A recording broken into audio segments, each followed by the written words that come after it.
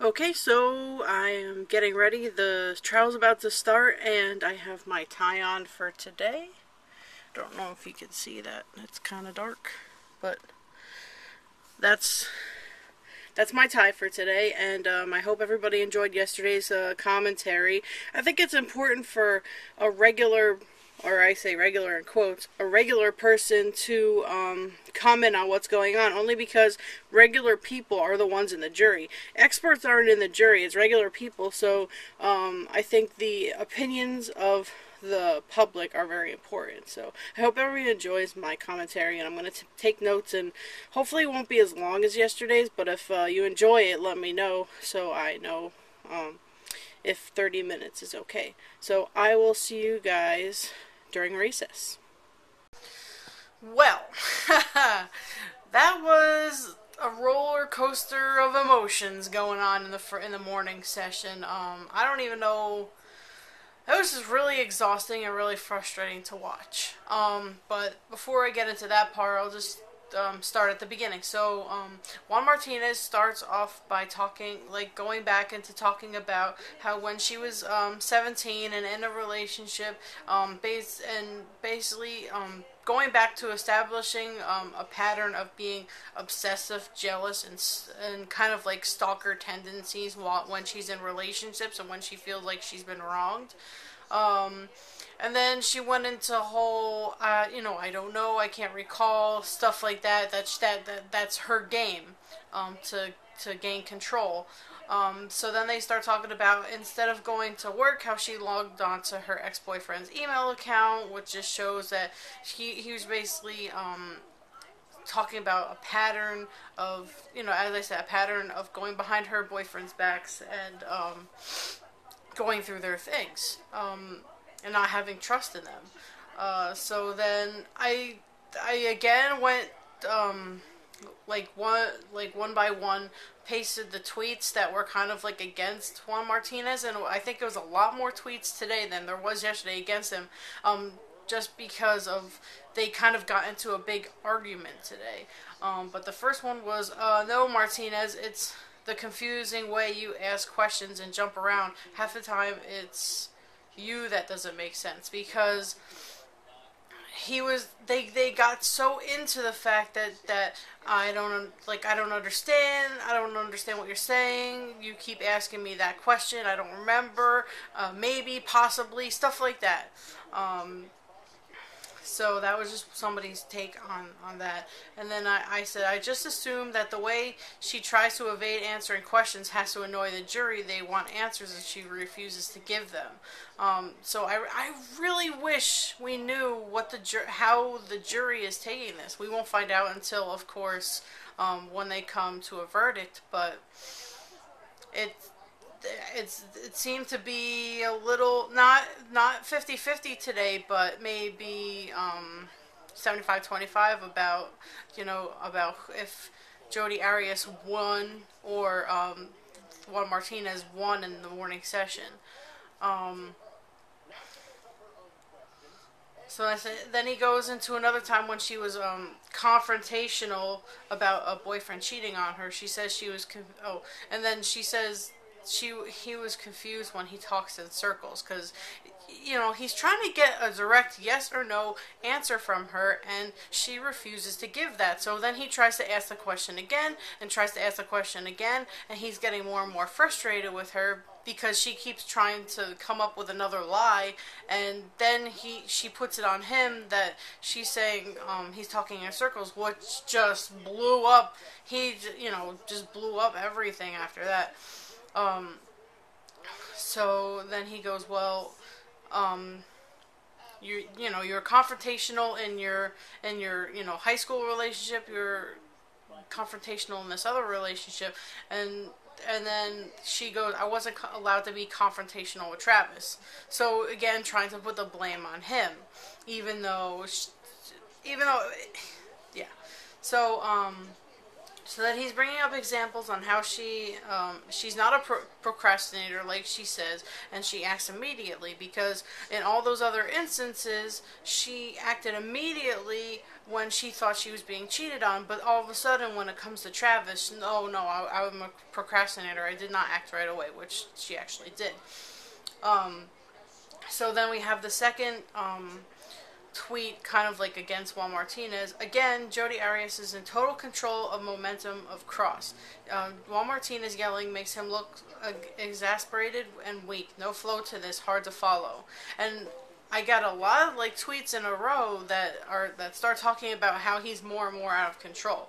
Um, somebody else says, I believe Juan Martinez needs to be more calm and less temperamental. Jodi Arias feels that she has the control, and she does at times. Um, so I said a lot of people tweeting and the hashtag that have mentioned that if they were on the jury, they would not like it at all the way she avoids answering questions. I think the way she avoids answering questions just shows her guilt, just shows that she's calculating and shows that she knows what she was doing. Because um, if you're not, if she was acting in self defense, she she would have no reason to evade a- answering questions because she was she was acting in self defense. She thought her life was in danger, but no mention of this. Um, um, then I said Juan Martinez has, has to ask her. Oh, sorry if I'm moving the camera. Uh, Juan Martinez has to ask her many times, does she have a memory problem? Because she keeps re- saying I don't remember. Um, then the another tweet is I want Martinez to win, but I'm afraid sympathy from the jury because of Martinez kind of being a jerk might let Jodi Arias off the hook. Maybe not. Um, and then I say they show part of the 48 hours interview where she said she was happy with Travis. So so she's saying that she was happy in the relationship, which doesn't say anything about being unhappy or that he that she was scared of him. So that's another contradiction to her um, abuse allegations. Um, and then he starts bringing up the fact that she she was looking at his phone while he was sleeping behind his back. Looking, she he talked about looking at his uh, MySpace messages behind his back. Um, and now she's arguing with him about using the word offended, even though she's the one who used the word. Now she says he's making her brain scrambled. Um, so now she says she's too focused on his anger, tone, and posture to, to really understand what he was asking her. And that just sent people, that just sent him over the top. Not over the top, but um, you'll see. I get to it in a second. Um, so then we get a tweet in, oh my god, she's pissing off the prosecutor, thinks she's trying to scramble his brain. Uh, she has succeeded to get him off track. Um, now I've got off track because I lost my place. Oh, here we go. And then another one. Jodi Arias is beating Martinez big time. He is so far off track, and she has put him there. Uh, then another uh, another tweet. See, these tweets came in like one after another, and with yesterday they were kind of spaced out. And I don't think there were as many in the morning session. I think th- there were and maybe the same amount of tweets. No, not even. There were more tweets in the morning session, like kind of negative towards Juan Martinez than there was yes the whole of yesterday.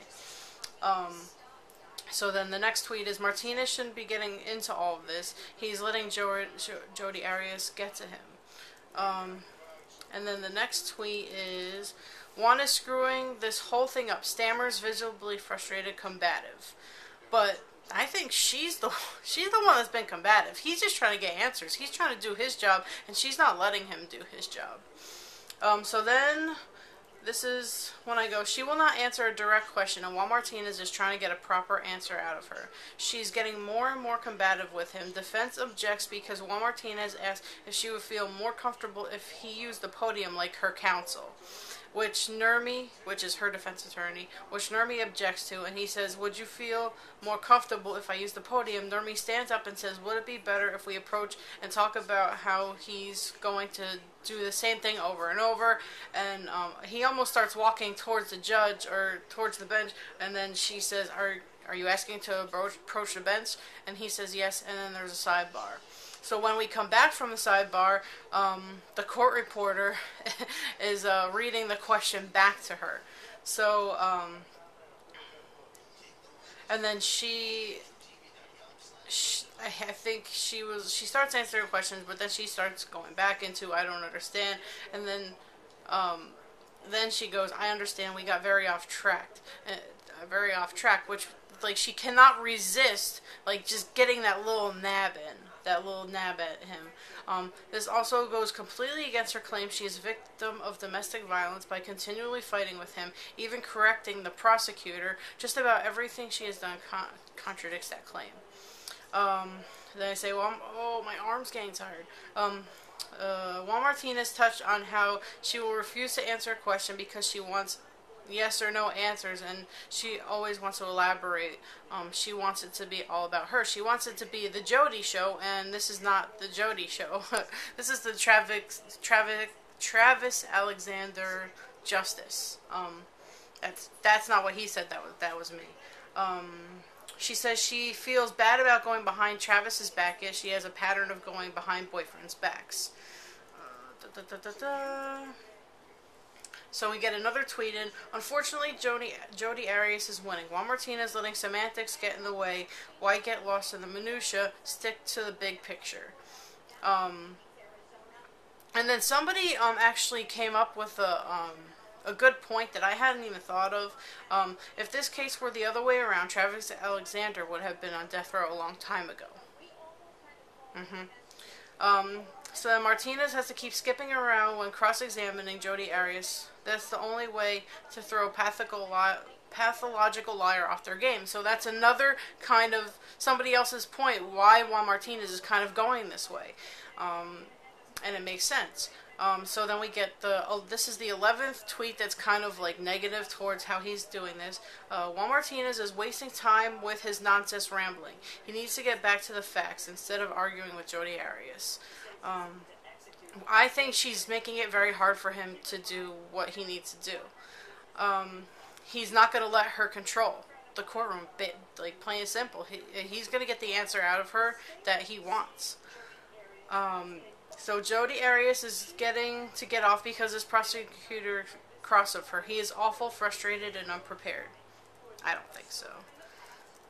Um, Jodi Arias. Oh no, Juan is acting like a bully, starting to feel sorry for Jodi. That scares me because somebody in the jury could be thinking the same thing. Um, then I go, this is 13 and a half. Um, I love Juan Martinez, but he needs to move on. E even I'm getting annoyed at the with the round at round.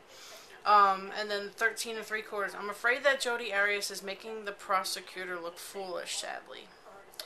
Um, and then 14, I think he needs to get some strong questions in about June 4th, which is the day of the murder. Um, other than that, leave her past in the past. So, that's um, kind of where we have left off with the morning session and going into recess. Um, I hope they get back on track and the judge can do something about this round around because it is really getting frustrating and I worry that the jury is going to get confused and the jury is going to get frustrated with both of them. So um, I really I don't know as I said I don't know what the rule is about um, how you're supposed to act in the courtroom but I really wish the judge would like take control of her courtroom and get her back on track and make her you know answer the questions that are being asked of her. So, um, yeah, I'll see you guys back after I go through my notes of the afternoon. Okay, so we're in afternoon recess right now. Um, I, I took little notes like during the um the other the the first recess. Um, I really want to know what the experts were thinking about um, if they thought that Juan Martinez or Jodi Arias kind of won that round, uh, the morning round. I'm sorry, I'm holding this. It's moving. Um, and um, most uh, it was like half and half, basically.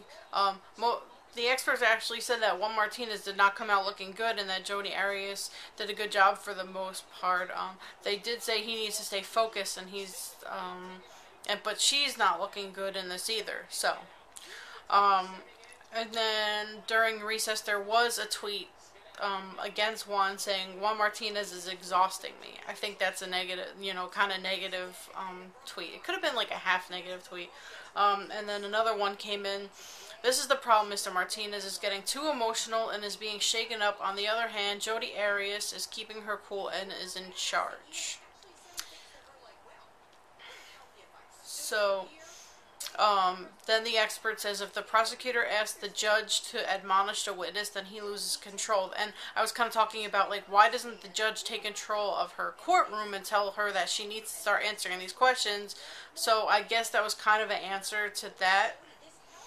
Um, and then Beth Karas, she's she works for HLN and truTV. She's in the courtroom. She talked about like what the jury was looking like. She said the jury is not taking many notes. They're maybe getting fed up. Um, some had their heads down. One was slouched in their chair, and some were like watching back and forth between the two. That was from morning session.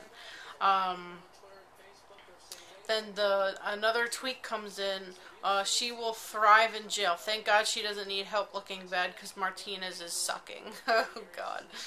Um, I don't really agree with that. I think he knows what he's doing.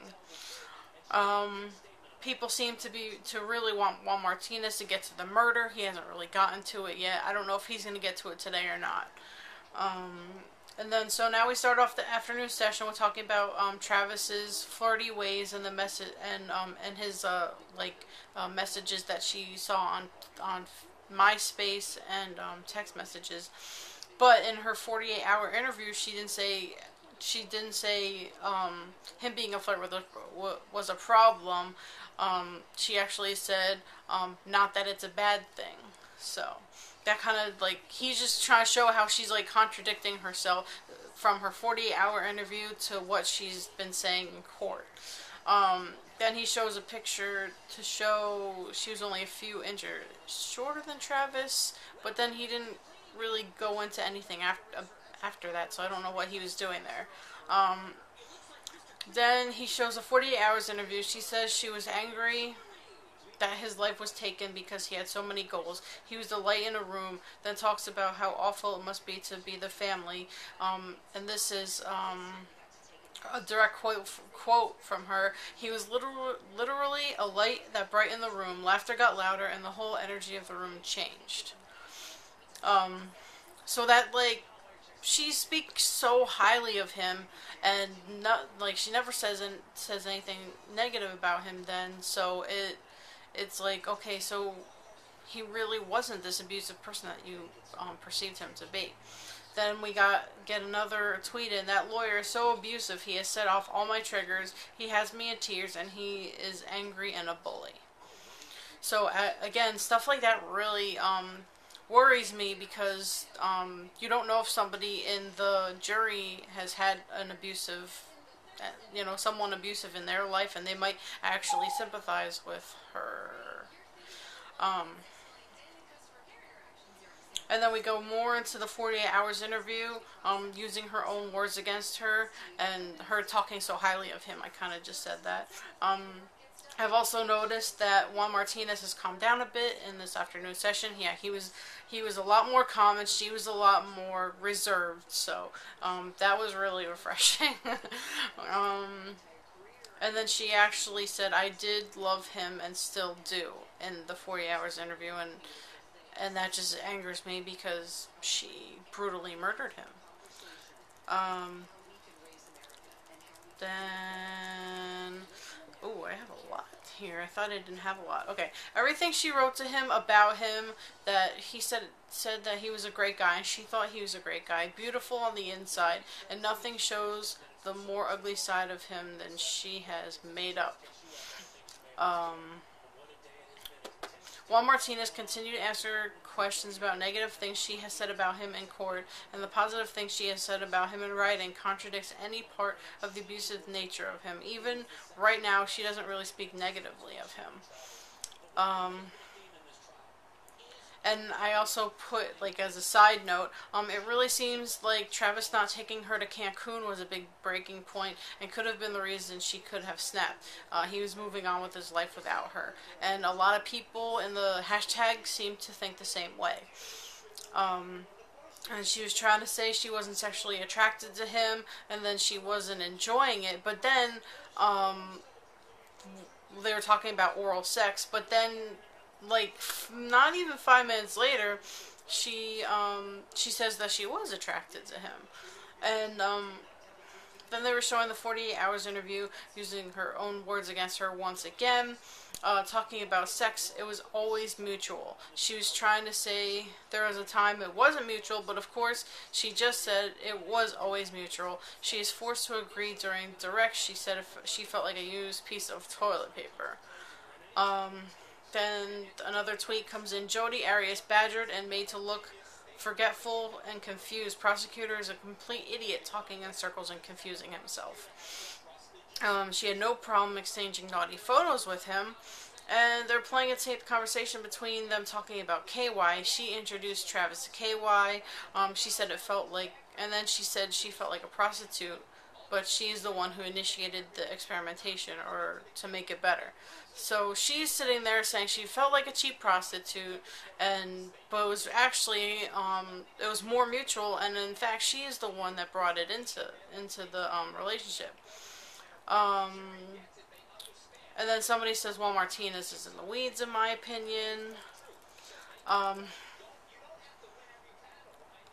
so after he asked her about, like, her saying that she felt like a prostitute, she said, when he jizzes in my face and throw, throws candy at my feet, I feel like a prostitute.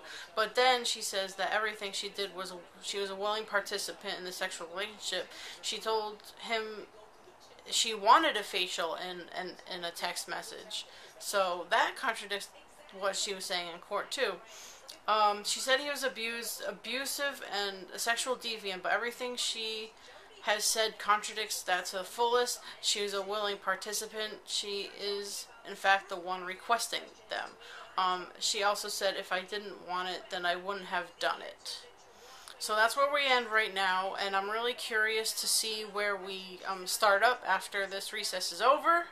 Um, I'm, I don't know if he's going to continue talking about the, the sexual things or if he's going to go into the murder day or who knows because he, he is kind of jumping around, which I don't appreciate, but I can see why he's doing it because um, she's a pathological liar and she can't be let to um, kind of get her thoughts together. She needs to kind of be jumping around so she she can um you know think she's outsmarting him or get her lies together. So we'll see what happens in the last part of the day.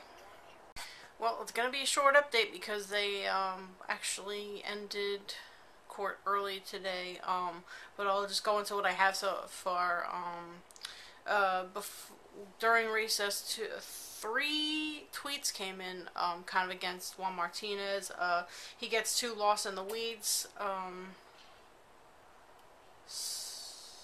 spars with Jodi Arias about mundane things that nobody cares about. He hasn't um, cracked her yet.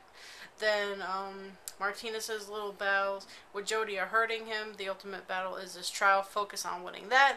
And the last one for the day is true. I don't like Martinez's style, but he has not cracked her yet. Not even close, so she gets the day. Um, then they came back from recess, had a sidebar, went back for a 10 minute recess, and then the judge came back and said they were going to um, recess for the evening, and um, they basically. Um, Jodi Arias has a headache a migraine, and they're claiming that the sheriff's office hasn't been feeding her, so um, they requested for her to get two meals a day and to promptly end at 4:30 every day. I guess they went over yesterday. And you're saying you want to end this unhealthy relationship. What is going on? Plans to get together and travel. Anyway, that just started uh, playing by itself. Anyway, um, so that's it for today. Um, I'll be back tomorrow uh, with more commentary. Don't forget to like, subscribe, and comment. Um, I really like to know what everybody else is thinking about this, and I'll see you tomorrow. Good night.